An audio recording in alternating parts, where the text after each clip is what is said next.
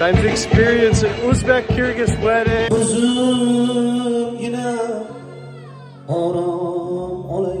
I'm dressed the part, I'm having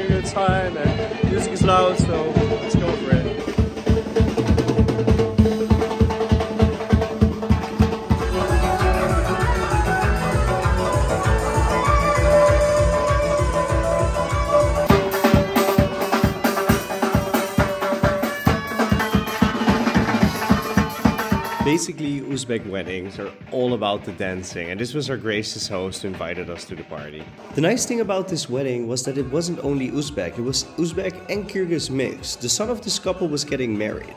And when you're at the wedding, there's a lot of customs and things that I don't know the exact details of, but you see them playing out in front of the camera. It was really cool to have a taste of it and seeing it. And of course, I needed to dance a little bit myself too.